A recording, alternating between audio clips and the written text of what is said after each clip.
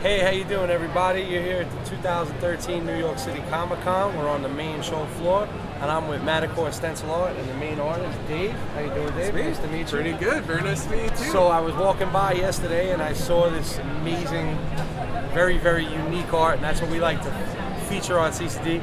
I mean, the Marvel booth, the DC booth, they're gonna have people all over there covering that shit. But we want to come and, and, and deal with some of the people from out of town that are bringing some new and exciting stuff. So tell us a little bit about the stuff that you do. Cool. Yeah. Uh, so I paint on secondhand stuff. I, I, got my start painting on old records. Um, when I was in college, uh, I had a professor that would make us buy way too many books, and I, I took that money to buy art supplies. And uh, I quickly ran out of canvases, so I started going through my albums and picking out the least favorite ones, and and uh, that's how I got started painting on the records. And uh, and then I just started painting on secondhand canvases, uh, and then you know, kind of adding the, the frosting to the cake, and, and you know, I try to take a lighthearted approach to a lot of stuff. And, just make it kind of fun. That's very cool.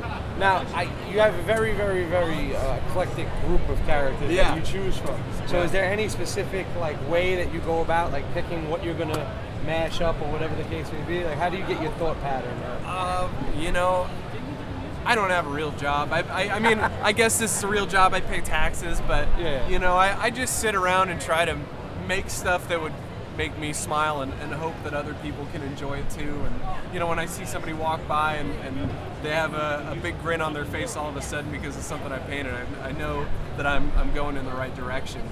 Now uh, you have a, lot of Star Wars pieces. Yeah. You have you know a lot of you know, pop culture references. Yeah. I see Ron Swanson, uh, you know the Beatles, all kinds of different. John Goodman, Big Lebowski.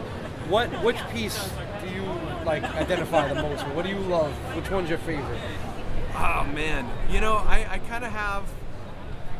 I don't know. It's I, I, I, spend a lot of time cutting stencils, so it's usually whichever one I'm, I'm working on at the time. Fair enough. Um, so I'll give you a couple examples. though. sure. I'm really into like geometric patterns.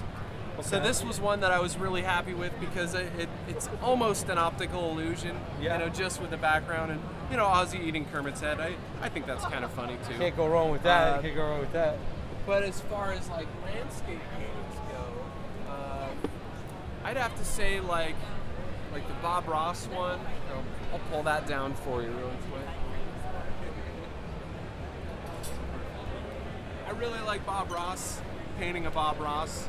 Uh, and I'd have to say that more people walk into my booth and have like a, a visceral, visceral reaction to this one because everybody's watched him paint he's put so many people to sleep, and, and you know he's, he's just been that that calm Zen master that everybody can relate to.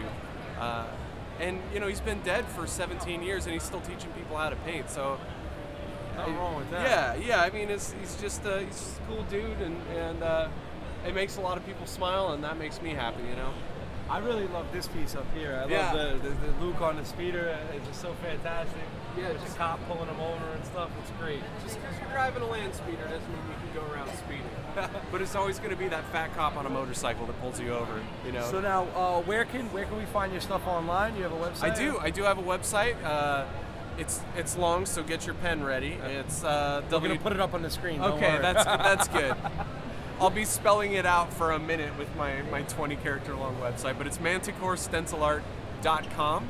Uh, you can also find me on Facebook, so Facebook backslash Manticore Stencil Art. Okay.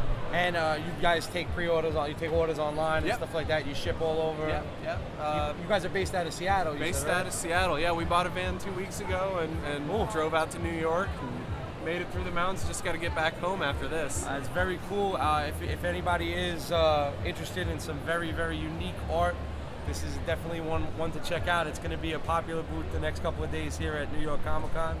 So, uh, Dave, it was a pleasure hey, to meet you. Thank you so much for coming for CCD.com, CCDblog.com from the New York Comic Con showroom floor. Thanks for watching, guys. We'll get back to you next time.